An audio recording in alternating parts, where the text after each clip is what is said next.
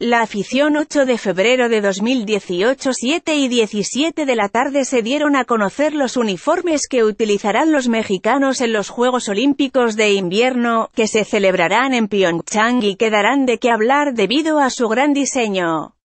La indumentaria se destaca por tener elementos parecidos al de Día de Muertos y que de acuerdo a medio tiempo, Hubertus von Hohenlohe aseguró que se inspiró en los días del año pasado que estuvo en San Miguel de Allende. Asimismo, el esquiador aseguró, me inspiré en lo que vi e hice algo muy mexicano, muy bonito, es algo de tradición, pero también loco, divertido, si no, nadie nos mira. Por otra parte, Hohenlohe aseveró que es muy difícil aspirar a medallas en estos juegos.